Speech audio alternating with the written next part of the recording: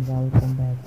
मैं दोस्तों आज जो मैं आपको इनती से सुना कर से अदा करा इसको सुनकर आप हैरान हो गए परेशान हो गए जी हाँ दोस्तों कौन नहीं जानता बहुत ही मशहूर मरूफ एक्ट्रेस